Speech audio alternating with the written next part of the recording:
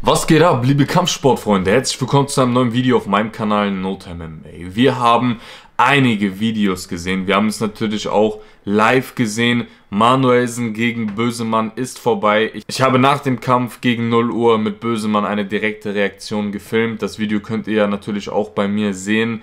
Dort hat Bösemann gesagt, ey, das war kein Kopfstoß. Ich habe nichts am Kopf. Ich blute nicht am Kopf.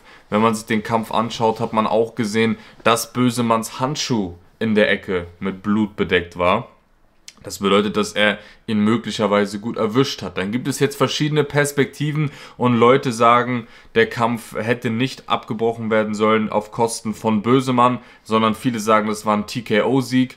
Wenn man sich äh, die Sequenz anschaut, gibt es ganz klare Anzeichen und Indizien, dass das eine rechte Overhand war, die perfekt ins Ziel getroffen ist gegen Manuelsen, die auf die Nase ging und dazu geführt hat, dass der Ringarzt diesen Kampf abgebrochen hat. Der Kopfstoß vom Bösemann, der kam von unten nach oben, aber der Cut von Manuelsen hat sich ja mitten auf der Nase gebildet, ja. Da kann man jetzt natürlich auf, auf der anderen Seite sagen, kann man das sicher sehen, konnte man das ganz genau so beurteilen.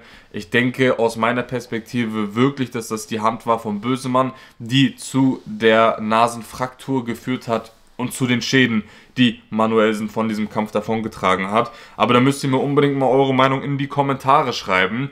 Vielleicht schaffe ich es ja nochmal mit Manuelsen zu sprechen, vielleicht schaffe ich es nochmal ausführlich mit Bösemann zu sprechen. Aber wie schon gesagt, die Indizien sprechen für sich. Vor allem das Video, wo man auch sieht, dass Bösemann die Overhand halt perfekt trifft und Manuelsen sich halt danach an die Nase fest. Da hatten die Kommentatoren gesagt, dass das mit einem Ellbogen oder Unterarm war. Aber müsst ihr mir mal eure Meinung auf jeden Fall gerne in die Kommentare schreiben. Hättet ihr Bock auf eine Trilogie von den beiden? Würdet ihr gerne diesen Kampf nochmal sehen wollen? Darüber hinaus kann man auch über die Veränderung von Manuelsen sprechen. Bösemann war wie gewohnt wild. Und das ist natürlich ein Stil, auf den Manuelsen ein bisschen schwieriger klarkommt. Bösemann geht da rein, keinen technischen Boxkampf daraus, der geht rein, schwingt sehr, sehr wild und macht Manuelsen das Ganze halt schwer in den Kampf überhaupt reinzufinden. Aber Manu hat sich auf jeden Fall bei diesem Rematch anders gezeigt. Er ist auch aggressiver nach vorne gegangen. Er wollte auch Druck machen. Er wollte Bösemann hier überwiegen. Hat letztendlich auf eine gewisse Art und Weise auch viel besser geklappt als beim ersten Kampf. Schreibt mal eure Meinung dazu aber gerne mal in die Kommentare. Wer hat gewonnen, wollt ihr es nochmal sehen. Bis zum nächsten Mal hier bei No Time MMA.